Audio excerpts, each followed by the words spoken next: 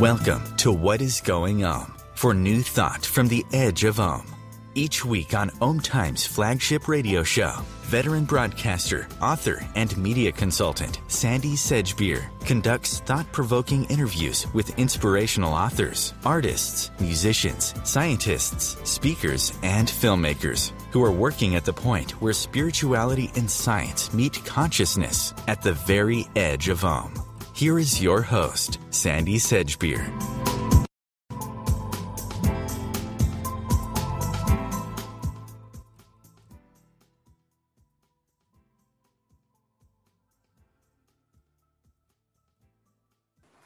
For example, just think for a moment about how you feel when you bite into a pear, wear a feather boa, stand in a noisy auditorium, or walk past a perfume counter in a crowded department store. Some people love the grainy texture of a pear, while others shudder just thinking about it. A feather boa could feel luxurious and sensual to one person, but deeply irritating to another. Likewise, there are people who love the energizing buzz they get from strong scents and noisy environments.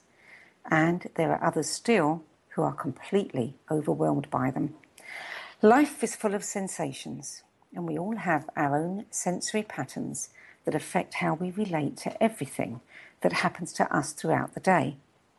And though we rarely think about it, how we respond to everyday experiences like those I've just described can not only make or break our day, but also contribute to the success or failure of our relationships. My guest today is Dr. Winnie Dunn, Professor and Chair of the Department of Occupational Therapy Education at the University of Kansas.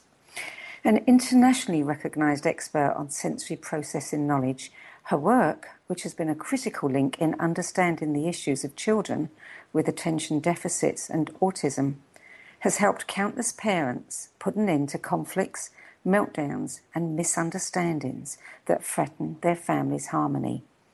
And now she's written a book called Living Sensationally Understanding Your Senses that explains how understanding our own and others' sensory patterns can dramatically transform our relationships and our lives at home and at work.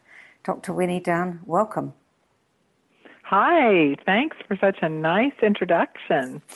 Winnie, when it comes to cracking the code of creating a satisfying life, I think few would argue that one of the most important skills is knowing how to build successful relationships.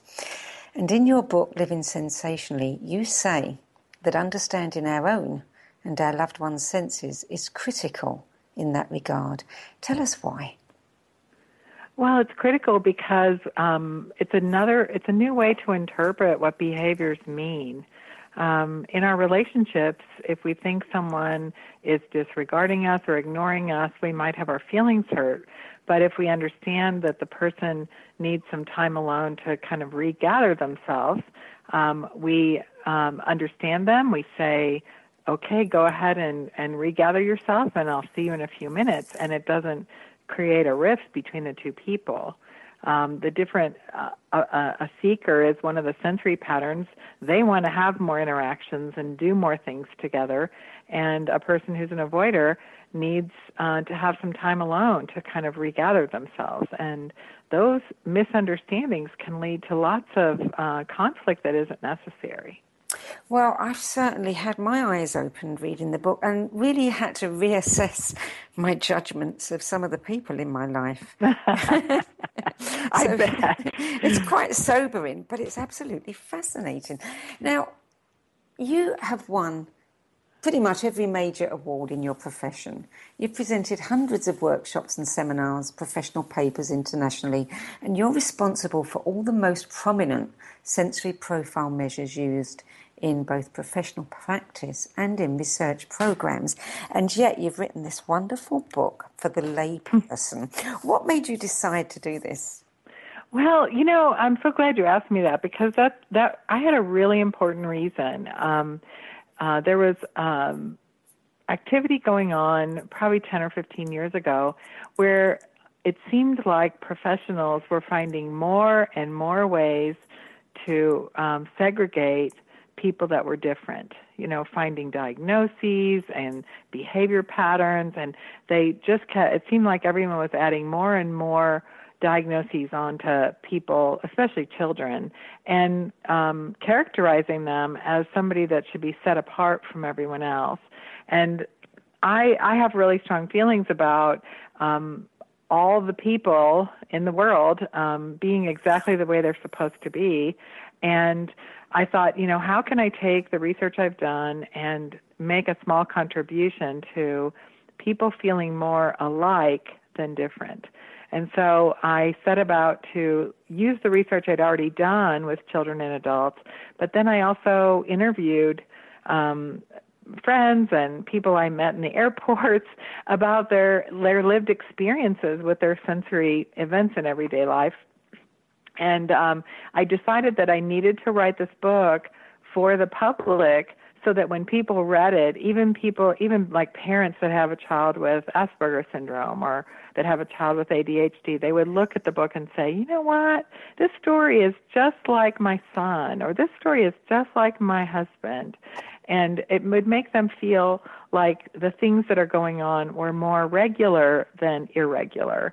I wanted people to feel included as members of humanity rather than segregated because of a particular characteristic that might be just quirky. Why did you first get attracted to occupational therapy? I mean, if this information is new, it wasn't this that attracted you. That's true. Um, you know, I I kind of fell upon it, but I, I've learned in my life that sometimes you you don't really fall upon things. You're like paying attention to the things that matter to you. Mm-hmm. Um, this this idea about how people live their life has always been really fascinating to me, and um, and actually, an occupational therapy program was starting at the university I was at, and uh, there were some women uh, older than me in the dormitory I lived in, and they kept telling me by watching the things I did every day. You need to be an occupational therapist. so um, I guess I, I need to find those women and thank them for uh, pointing me in a direction. They saw something in me that was um, that I valued people's everyday experiences, which is the core thing that occupational therapists do. We look at everyone's routines and their everyday life activities and ask how we can make them more satisfying for people so they they really pointed me in that direction, and uh, I've I've been I, I just I can't imagine. I've been so satisfied in this profession for all these decades. I've I feel very fortunate that that's been my experience. Well, one of the things that struck me about this book is, you know, I've spent most of my adult life studying psychology. You know, I'm fascinated, like you, you know, how people think, why they do the things they do. Yeah. And for me, your book was such a, a missing piece of the puzzle. Um, huh. You know, it should be up there with John Gray's, you know, Men are from Mars, Women are from Venus, how to win friends and influence people, because yes. it just makes so much sense. Oh, that was a pun you made. so it was unintentionally. but tell us, I, I think that you know, I just think that um, the sensory experiences we have in everyday life are so much part of who we are that we really sort of we don't even think about them sometimes. You know, we don't. And and I think what happened when I wrote Living Sensationally is it made people pay attention to those things that automatically happen in everyday experiences and it made them think you know why am i doing this and why does my husband do this other thing and why does my daughter do this other thing people i think became more aware of the differences in the behavior being because of the sensory experience i don't think that connection had been made before I it's always been there it makes so much sense to people. It helps us with our relationships with others. I mean, you know, I found myself um, understanding all my relatives so much better. You're like, okay, yep. she can sit at the other table. Yeah. and I, I think that is what was so nice about the, the sensory experience. And the other part that I think is really important is um, when you understand that difference that has this sort of um, clear meaning, then uh, you also have ideas about how to manage it. You know, for families with children, you know, if a child needs a lot of jumping, you know, understanding that helps you plan the day so that you get more movement and jumping in. Or if a child needs more quiet, it makes you be more careful about how you plan the series of activities um, that a family might engage in. Yeah, one of the pieces that really struck me was the, you know uh, the relationship arena because I think that is so important. Couples um, who have different sensory styles and oh, the ways that they can learn to manage that. Yes, I agree completely. I think that um, you know the the issues around uh, touching each other and what kind of touch is acceptable and not acceptable, mm-hmm. uh, whether you want to talk right away when you get home or be quiet, all those things. Um, you know, if we if we we're so vulnerable in our primary relationships, and we need to understand those behaviors about each other, so that we honor who the other person is rather than try to get them to not be like that anymore. Absolutely. I mean, you know, also the arguments that one can forestall. I can look back on some of my relationships and say, if only I'd had this book then. Yes, you can say, okay, okay, I understand what's going on here. Yeah, it's uh, it's really funny um, how it. We we make jokes about it in our family. You know, we say, well, yeah, it's because you're a bystander, or that's because you're a seeker and everybody can kind of laugh about it instead of thinking, you know, how irritating that person is all the time, or how criticized they are all the time. Yeah, yeah. for being for being themselves. I mean, that's what the bottom line here is: is that when you when you are in your natural state from a sensory point of view, um, you know, that's what you want everyone to honor about you. Absolutely. You're listening to What is Going Om. I'm Sandy Sedgbeer and my guest is Dr. Winnie Dunn, who's the leading authority on how we respond to sensory experiences in our everyday lives. After the break, we'll find out more about the four sensory types and how each style might prefer to organise their life. We'll be back in a few moments. Don't go away.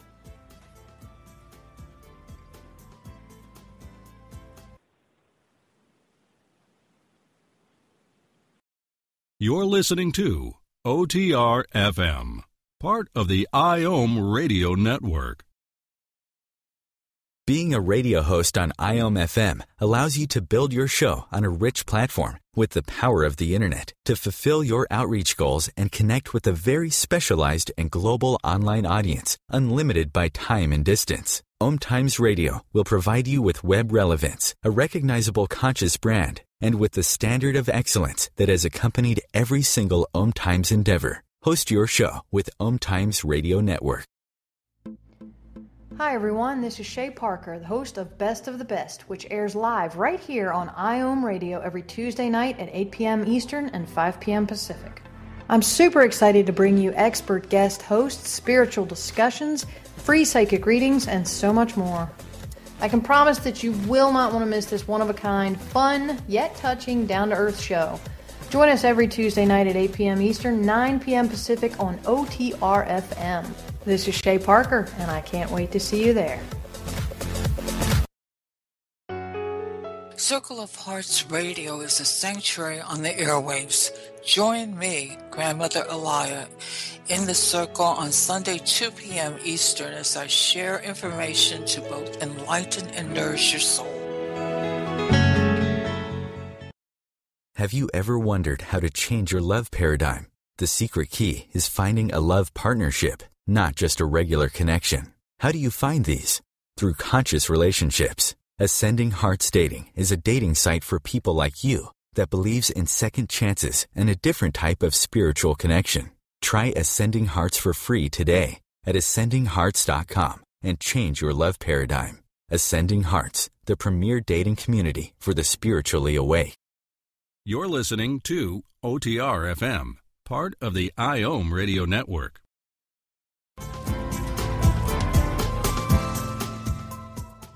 To what is going on. I'm Sandy Sedgbeer, and my guest is Winnie Dunn, Professor and Chair of the Department of Occupational Therapy Education at the University of Kansas Medical Center and author of Living Sensationally Understanding Your Senses.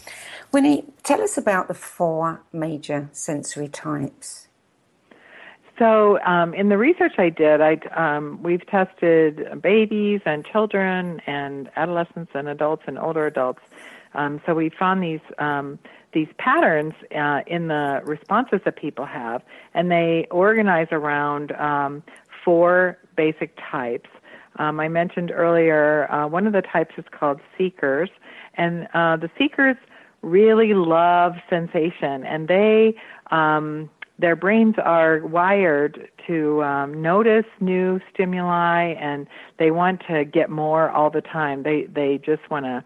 So these are the people that um, you know skip instead of walk or wear um, heavy jewelry that that's noisy during the day or um, that want to try adventurous kinds of activities because their brain is geared to want to have novel experiences over and over. A seeker is likely to drive different ways to work, for example, because they want to see, you know, if they can go a different way and still, you know, have an experience of getting there at the same time. And uh, their, so their brain is always looking for new sensory experiences. Uh, the second category are called avoiders. So um, people that are avoiders, um, they want very little stimuli. Uh, their brains are geared to detect very, very tiny um, sensory stimuli, and so um, their brains can get overwhelmed really quickly. New input is seen as potentially harmful, so um, avoiders like to have lots of routines. They like to have things um, be the same over and over. They might uh, eat the same meals every week. Uh, they might go to the same places. Um, they might have um, a clothing pattern that they keep all the time because um, it keeps them from having to experience a lot of new or unexpected sensations throughout the day. Avoiders might pull down the shades and just minimize the amount of um, ambient experiences that they have. Uh, the third category are called sensors. They also have really low sensory thresholds. Their their uh, their brains detect lots of details, but um, the avoiders are more likely to sort of go away and be alone. And sensors uh, want to participate, but they get overwhelmed. So um, they might be more bossy, you know, asking you to tone it down or um, you know not use such bright colors. They want to have more soft palettes in their in their homes and in their clothing choices. Um, sensors are more likely to have um, favorite meals at at restaurants and go uh, like before the rush, so that they can have a more quiet and uh, dedicated type of meal. Uh, sensors are very loyal to brands. They find socks or pants that they really like, and they buy all the ones they can buy because they want to make sure they still have them if they um, quit making them because they like how they feel on their body. Um, the the fourth category are uh, called bystanders, and bystanders um, their brains are geared with very high um, sensory thresholds, so they they um, don't they miss stuff. They they fail to detect something that's going on around them. They might seem um, like an airhead or might seem ditzy or oblivious. Those are kind of the words you might use about a person like that. But they're also very easygoing because the fact that they don't notice as many things means they kind of go with the flow on everything. Um, things don't upset them very quickly, but they also might not notice something that is important um, to pick up on. And so, like in a parenting situation, a bystander parent might miss some of the cues from their children about what's going on that they need to pay attention to. It's really important to know that they are these four patterns are just characteristics of who people are. They're not diagnoses that need to be um, marked down and fixed. Um, seekers are always going to be seekers, and avoiders are always going to be avoiders. The deal is that if you understand how the sensory pattern works, you can organize your life and your activities and your schedule to be in sync with your sensory patterns instead of fighting against them. For example, an avoider might prefer to telecommute, which these days is an easier thing to do. Uh, they wouldn't have to be in the hustle bustle of the office. Conversely, the seekers want to be at the office around the other people where they can encounter new things and come up with new ideas all the time. So understanding your pattern makes it easier to create a routine without feeling apologetic about it, um, that it matches how you like to take in information. And when you feel more like yourself, you're a better person to be around for everyone else as well. So, could you be, uh, you know, do you have like a primary and a secondary preference? Yeah, I'm so glad you asked that. You know, the thing that's really interesting from the research is that um, if rather than it being like primary and secondary, it's really related to the context you're in. So, like if um, uh, if a person is in a really quiet environment, it might not bring out some of these other characteristics than when they're in a busy environment. You know, an avoider is going to f- seem very peaceful in um, a church situation or in a very formal uh, presentation where everybody's sitting quietly and, and being very um, attentive. But that same person is going to look very different at a concert where lots of unexpected things are happening. So rather than it being primary and secondary, it's really related to the place you're in and the activities you're trying to do. So uh, one of the things I always think about is like going to a concert is a good example. You know, everybody can go to a concert, but they're going to go to the concert a different way. You know, if you're a seeker, you're going to go out ahead of time and and talk about the concert and you're going to be down on the floor where everybody's bumping into each other and dancing during the concert and you're going to go out after the concert. An avoider's probably going to get their tickets ahead of time, probably try to sit on the railing so people can't bump into them, you know, up off the floor so that they'll be separated from other people. They might leave early or wait till later to leave. So so people have different ways of experiencing the same thing even uh, to accommodate their own sensory needs. So, might you also, um, you know, be a seeker when it comes to your visual sense, but not right. when it comes to scent? That is a very that's a very good point. Um, you know, some people are very sensitive to the visual environment, but they might be a seeker for um, colognes and perfumes and the sense of the foods they eat. They might be smelling everything and trying out everything, but they don't. But they want to have a very calm visual environment. Uh, that's part of how we're wired too, and that's what you know. If you think about settings, um, different sensory experiences come up during different activities and settings. You know, you're going to have more aromas during a meal that you're eating with someone uh, than when you're in other kinds of settings, and that might change the the the um, texture of how you can behave during that particular experience.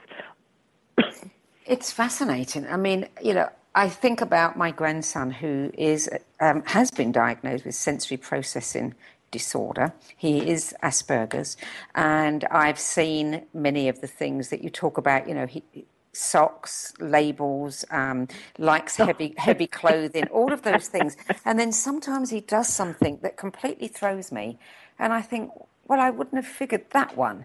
Um, so what right. you've just said explains it.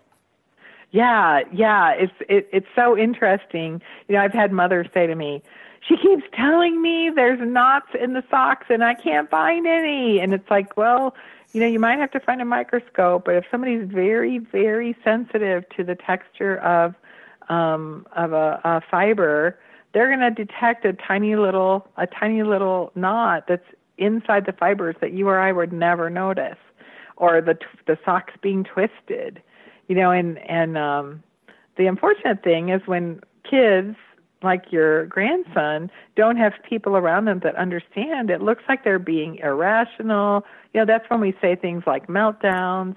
Um but but a meltdown is a a way to try to communicate to people you know this isn't working for me. I need some help and i don't know what to do. Um, you know, so like he might pull his socks off, and his parents are like, "Oh my gosh, we got to get to school," and um, you know, without thinking about the fact that there's something about the socks that are he's trying yes. to communicate. There's something about these socks that I can't handle. So um, he's very lucky to have people around that at least pause and think about that. Well, I think it, you know one of the hard things is it's all about me, isn't it? I mean, everything in life is all about me, and so we tend to always look for the reason why somebody's doing it to get at us. um, yes. You know, that person is making a lot of noise because they want to irritate me. Yes, and you know, I, I think about that a lot, and I, I'm like, you know, th- this child has many other things to do than than irritate you. You know, they're they're trying to tell you something. Uh, you know, are you paying attention to what that is that they're trying to tell you? And we try to get kids, especially on our timeline, when our timeline might not be working for the the needs that that particular child has at that moment. It's hard. It's really hard. It's very hard. I mean, for a parent who might be I don't know, and a an avoider. um, oh my goodness! You know, how do they deal with it? It's it is hard, you know. But like I've worked with some families where, um, you know, I, we I just give them sometimes just giving people the words helps.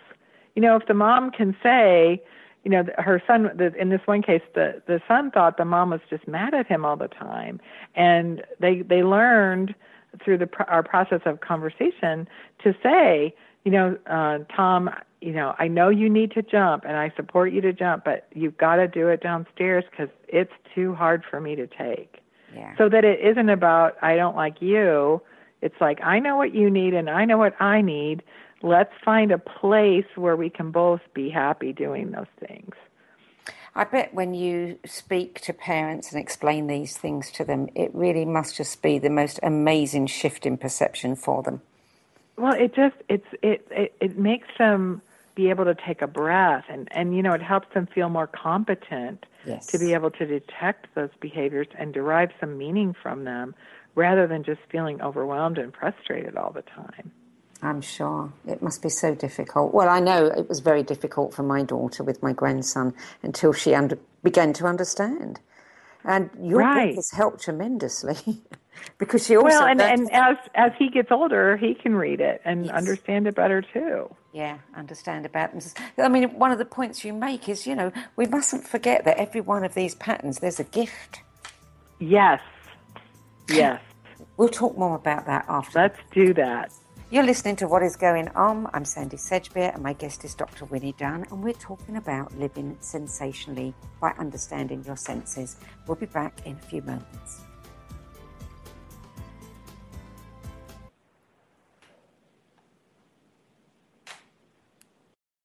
This is OTRFM, part of the IOM radio network. Host your show on iOmFM, the radio network of Om Times Media, one of the more recognized brand names in the conscious community, and is backed by the extensive marketing reach of Om Times. Hosting a show on iOmFM immediately connects you with our extensive dedicated community. Matt Connerton here. Join Jen Coffee and I twice a week for Matt Connerton Unleashed, a political talk show that's a little different than what you're used to. No liberal or conservative agenda here, just an honest dialogue about truth and how things really work in the world of politics. Matt Connerton Unleashed, every Tuesday and Thursday night at 11 p.m. Eastern on Om Times Radio.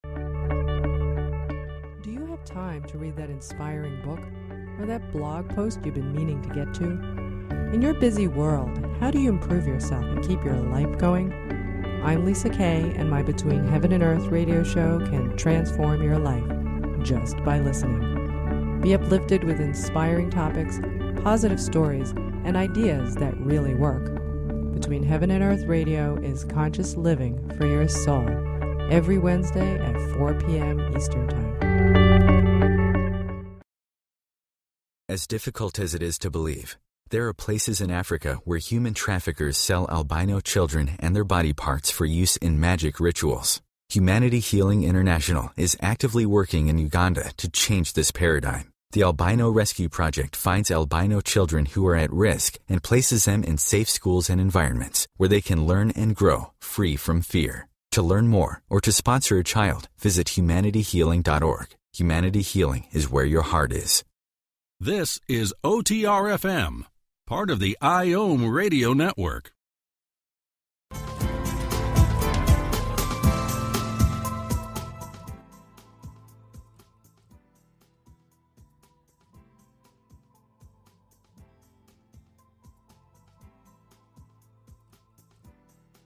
In making and breaking our relationships.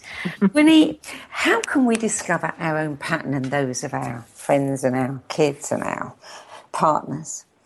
Well, uh, there's lots of things you can watch. Um, in Living Sensationally, there's a little checklist that can give you some clues about what things you tend to do. And uh, there's a lot of um, tables and worksheets in there so that you can. Um, I write things about what you're likely to do during everyday life, during work, during, as you said earlier, relationships. So there's lots of um, um, little checklists that people can look at, and a lot of stories. You know, the main thing is um, being willing to have a conversation about it. Why? Why do you need to do that? Why is it that you're doing that? What? What is? How does that help you? Um, or I, I noticed that you do X. You know, I, you know, just I think the idea of just being regarded matters a lot instead of being disregarded. And your sensory patterns are so much at the core of who you are that when they're disregarded, um, hurt feelings can happen a lot. Um, you know, you said before the break to talk about what the gifts are. Um, each of these patterns has really lovely contributions to make. And like when I'm in my work setting, I try to make sure I have people from all these different patterns because they contribute different things to um, the good work that we're able to do together. So, like I said earlier, bystanders are really easygoing. So they're they're people that can bring others together. They kind of go with the flow. They don't get bothered by things that are going on. They can really concentrate because they're not distracted like some of the other patterns are. And um, so they're they're easy people to be around, but that creates a gathering place for others.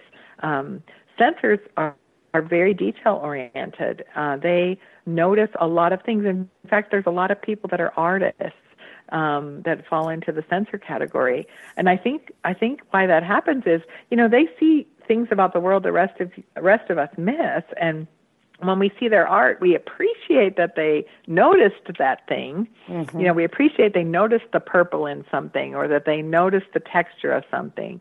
Uh, but we might not have noticed it without their help. Um, so sensors give us um, that that rich gift. Um, avoiders give us the gift of understanding how to create really, really effective routines because their their brains are so geared to um, creating sameness and similarity and familiarity all the time. They have really good skills at coming up with organizational structures and systems and routines at work and at home that are um, predictable. And that is really helpful to lots of lots of places where you and I spend our time. And then seekers are always the people that we can count on for being um, uh, the ones that come up with new ideas because they're geared to detect novelty. So every time there's something, a new aspect of a project, the seekers are the ones that are going to be able to point it out really quickly. Yeah, you know, I realised my daughter-in-law is the perfect seeker. Um, is she? Yeah, she she checks every single box. Um, you know, she, she's and she's brilliant at what she does. But she's always telling me to become a runner like her. She loves running. Oh boy! And that is not my thing at all. no, me so, either. Yeah, so that's really interesting because now I don't need to feel guilty about not being a runner. Right, but but you also can appreciate that she needs yes. to do that. Her her body and her brain need that additional input that running provides. That's what I love about this. I mean, a really smart leader, you know, in, in a in an office or you know corporation would pick his team based on this. Oh, I absolutely, I absolutely think that's a really important aspect. We pick by like you said earlier, psychology and, and some of those other characteristics. But this is a really primal feature of people. Um, it's it's just so much part of their humanity that people forget about it. And um, you know, like I have somebody in my office that doesn't turn the lights on in his office. He only has the ambient light that comes from his computer screen because his his his need for visual input is so you know low. He he needs to have a very like calm and zen like visual environment for himself and um it's it's like he's the only one that doesn't turn his lights on so we only know he's there because the door might be ajar uh but it's always dark and uh he has that he he has figured out that that is the amount of visual input that allows him to still focus his attention on his work. And I, I just think that's so great. Do you get many companies coming to you to ask about this? Because you know nowadays companies are investigating all sorts of ways to to create cohesion amongst their teams and get everybody working to their strengths. This this seems like a natural. Yeah, you know, in fact, there's an OT in South Africa that um, she worked with the call centers that are in South Africa because they they suffer from the the dilemma of having lots of turnover. And so um, she made a pitch to them that part of the turnover was because they weren't creating work environments and uh, the pods and things where people worked, they weren't creating work environments that were a good match for people from a sensory point of view. And so they, uh, because it was a bad match, they would easily leave quickly. And so they reorganized how they did some of their work so that people that were, um, you know, less distracted because they were bystanders could be in the more busy aspects of the business because people talking next to them wouldn't be so bothersome because bystanders can really focus. And then giving uh, different kinds of jobs to people that had lower sensory thresholds, uh, like sensors and avoiders, so that they wouldn't get so um, overtaken by the the busy uh, call center that they would end up quitting. So they kind of did a filtering system and uh, matched the job to the person based on the sensory patterns, and that it was a really effective method. What dictates our sensory pattern? Is it hereditary? Is it something that develops? Uh, you know, nature, I, I think, nurture? Yeah, I think that I think we are sort of born with a pattern, you know. Um, but but that being said, just like everything, the, the arguments between genetics and and heredity and environment, um, you know, if you're in a if you're if you're a um, person that's born with a seeking pattern and you were born into a a very sort of formal, um, stately kind of family, um, you might you might have a harder time navigating because you look like the weirdo all the time than if you were born into kind of a bustly family. You know, I think part of this is related to um, how you come to understand these things about yourself. A kid that's in a more formal family might not might not have the opportunities to explore and sort of be themselves um, from a sensory point of view. Uh, I I think we all can say things like, you know, that kid is has the right mom, or that kid has the right dad, or if that child had a different father, then you know this would be easier for him. Um, and I think some of that is related to this uh, sensory patterns and how families are able to honor the sensory patterns of the parents as well as the sensory patterns of the children as they plan activities um, at home and in the community. So, if we all have sensory patterns, what is it that makes the difference between being normal, if there's such a thing, and kids that are, or people that are diagnosed with sensory processing disorder? Well, I, um, you know, I'm I'm sort of not on the big trail of of calling people disordered because their sensory patterns are different from other people. I think that the issue for me is is the adaptability. Like the the the children and families that I uh, serve are those that can't figure it out without some supports, you know, without some coaching. Um, so to me, it's more about um, what supports do you need to figure it out rather than do you have a disorder or not. Um, I, I think that it's about understanding um, how to figure it out with a professional and with your family members rather than saying this person has a disorder and this person doesn't. It, because the truth is, you know, if you look at the data, there are people in the normal, quote unquote, normal population that have differences in sensory processing that are probably the same patterns as your grandson. Yes. Yes, but they indeed. have figured out ways to manage that in their everyday life. And so they don't come to the surface as having, quote unquote, a disorder You know, and so one of those studies we're working on right now is asking children that have those patterns that would match your grandson, but that are in the general population, asking them what their strategies are. You know, like, yeah, you're you really hate all that loud noise. So what do you do at school when people are making a lot of noise? What are your strategies? And the kids tell us all kinds of really interesting things that they do. You know, I say I have to go to the bathroom. One kid said. It is You know, well, that's a way to get away from it. Yeah, how it's, creative they can be. I think so, but they don't know they're being creative. And so, you know, we get a chance by understanding sensory patterns, we get a chance to inform them about why that's a good strategy.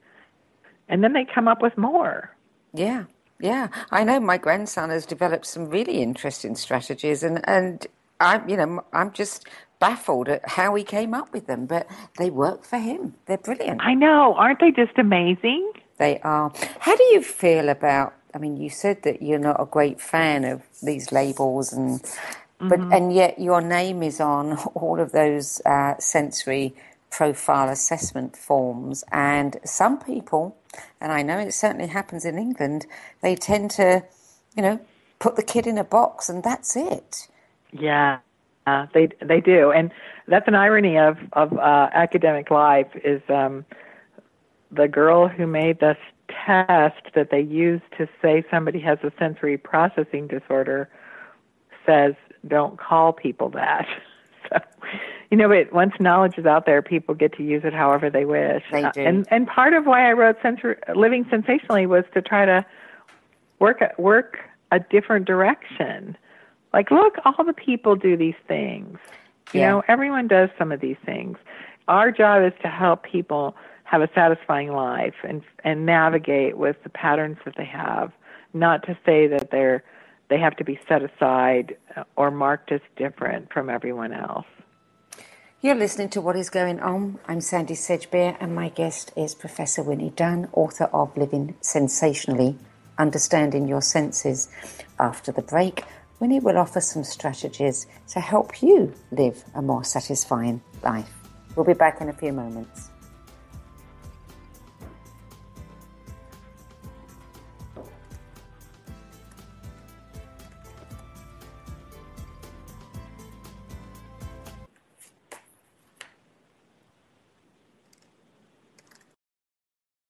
You're listening to OTR FM, part of the IOM radio network. Being a radio host on IOM FM allows you to build your show on a rich platform with the power of the internet to fulfill your outreach goals and connect with a very specialized and global online audience, unlimited by time and distance. Om Times Radio will provide you with web relevance, a recognizable conscious brand, and with the standard of excellence that has accompanied every single Om Times endeavor. Host your show with Om Times Radio Network. This is Terry Van Horn, and I want to invite you to join me for my weekly radio show, Healing Light, on Om Times Radio every Wednesday at 6 p.m. Eastern Standard Time. On Healing Light, we want to bring love, light, and blessings into your world. You can find out more about us at www.healinglightonline.com. Blessings.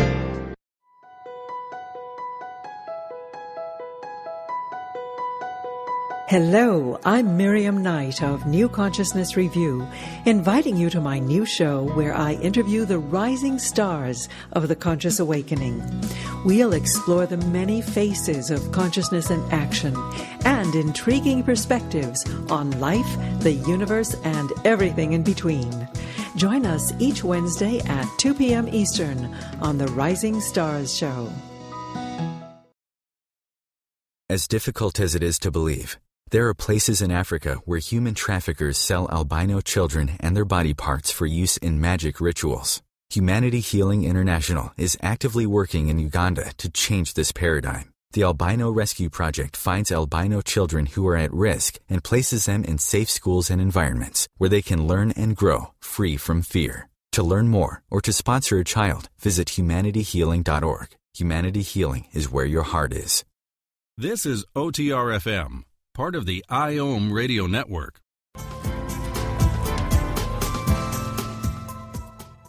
Welcome back to What is Going Om. I'm Sandy Sedgbeer and I'm speaking with Professor Winnie Dunn, author of Living Sensationally Understanding Your Senses.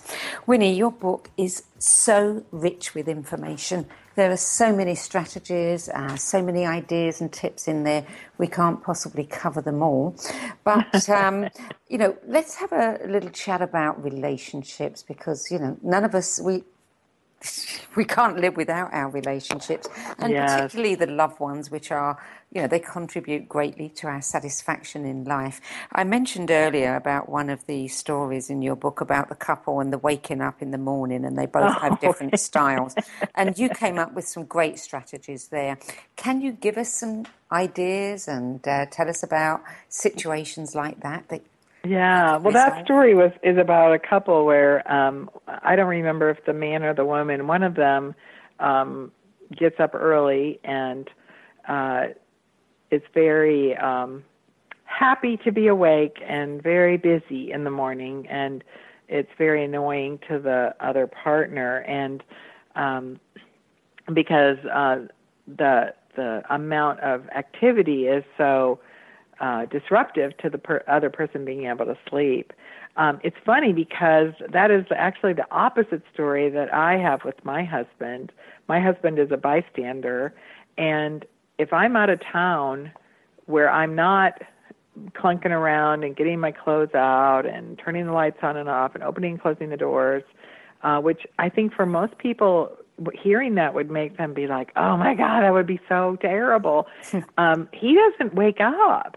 He needs all of that input because he, you know, his sensory thresholds are so high. He needs all of that input to sort of gather up and get himself awake. And when I'm out of town, he has a hard time um, getting up in the morning because he doesn't have all those disruptive things to w- sort of wake him up.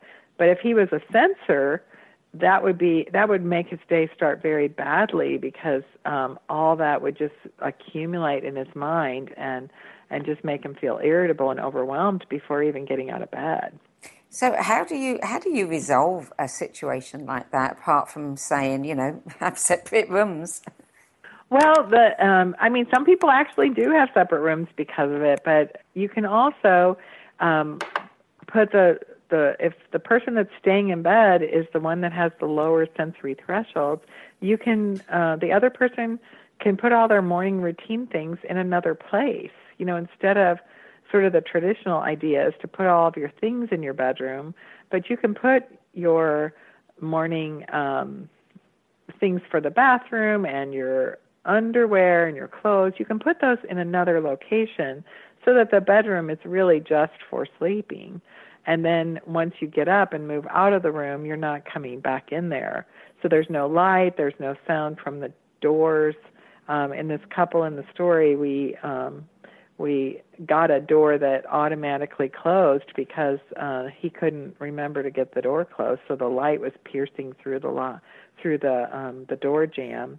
And you know, so you you just once you understand what the other person's needs are, then you can sort of navigate a little bit more uh, carefully.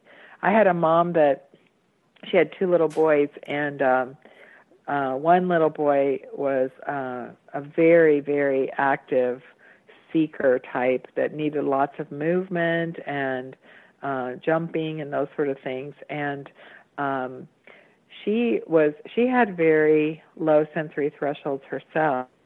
And they we talked a lot about what activities do the two of you need to do separately and what activities do, do you need to do together. And so we came up with ideas for example um, they would go to the park. So he could play and he had the sense that she was there with him but she could sit on the park bench and uh, read her book you know read her kindle um, and still be there with him, but not be in the intense closeness of uh, that kind of activity that was really so overwhelming for her that she was, you know, being um, kind of irritable with her son. Um, they came up with ideas of what they would say to each other to make sure that they understood that what the other, you know, mom, I know you need quiet, but I feel like playing you know, we came up with phrases that they could use. Um, sometimes having just a space in the house where it's a safe place for someone to go if they need to get away is a really helpful strategy so that it can just be kind of quiet and dark for a few minutes it's helpful. Um, I'm a seeker, so like on my desk, I have um, over the years accumulated really lovely uh, quotes from people, and I just keep them randomly in folders and all around my desk so that when I'm reaching for something, I'll come upon it. And that sort of feeds my brain's need for novelty. You know, I'll come upon a little quote that's in a folder of a project I'm working on, or I'll tape it up to the to the uh, computer so I see it in the morning, and then I can move it off the computer um, but just those actions of novelty uh, keep my brain engaged because the, the challenge for seekers is because our brains are geared to detect novelty, if we engage in the same routines over and over, our brains get distracted and drift looking for something new. So we have to sort of create novelty in our routines and settings so that we stay we stay focused on what's going on around us, like the work that we're trying to get done. What would, um, what would, you suggest? I mean, you know, you can one can rearrange one's home and do whatever right. one can in one's own environment. But what if you went on vacation together, but you're completely different types? How could you manage things then in a situation where you're not in control of the environment necessarily. Right. So so at that point you have to you have to control the parts you can the schedule you know like um being willing to have different activities you know. I'm going to go to the library this morning and see what books they have. You go do your bungee jumping and we'll meet together for lunch um is a good good idea. I had a grandpa call me um, because he was. He said, I, "I feel like I'm crabby grandpa." He was um, feeling really distressed because he got so quickly overwhelmed with his very active ch- uh, grandchildren. Of course, he said, "I want to spend time with them, but I, I just get so bowled over by all the noise and activity." And so we talked through like what uh, what kinds of things their family liked to do and what their interests were and uh, we came on a, what ended up being a really helpful strategy. He would take the um, he would take either uh, the grandma or the uh, his daughter, who was the mother, some other one other adult, and they they would go to the movies together, and the grandpa would drive, and he would drop them all off at the door so they could all bustle in and get the tickets and you know be all swarmy with each other running around to get to the theater, he would go park the car. Um, they would get their snacks and their drinks and get all settled in and save a place for grandpa. So the kids all perceived and he perceived that they were spending time together, but the, the grandpa didn't have to deal with all the bustly behavior. So he would like sneak into the dark theater and sit down with them, and they were all so happy for him to be there but he didn't have to he wasn't already overwhelmed from all the activity to get into the theater because he was the driver that was picking them up and dropping them off. So that was a strategy that I, really worked well for their family. How could knowing our own sensory pattern at work help us succeed? Um, in the workplace? In the workplace um, yeah. I, yeah i think that i think that what it what it helps you do is um, divide up the work based on the the natural state of each person instead of dividing up the work where each person has to do 25% of all the activities. You know, give the seeker the jobs um, of creating new ideas and coming up with new um, methods and strategies, and give the avoider the jobs that require creating the schedule and making organizational structure and the file structure that we're going to use. Um, you know, uh, give the bystander the jobs of running um, errands, uh, you know, to keep them alert, and uh, give the sensors the jobs of editing and the detail work and the precision, because those are the things that each of those categories are good at, and it makes your work product even better. You know, it raises some interesting um, ideas for what could be done in classrooms as well with children. Oh yes. Uh, you know, yeah, if- we're too regimented in classrooms. Absolutely.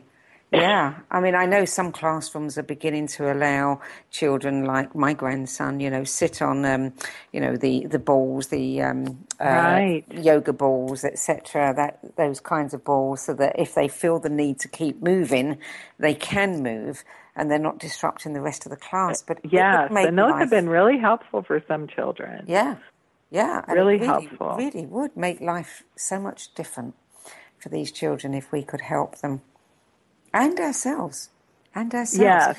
Do you um do you ever get asked by uh, relationship counsellors to give them some uh, tips? Yeah, yes. In fact, you know, the thing that's so great about the relationship part is um, it really helps. It, it really helps people to settle down all of their angst about the other person.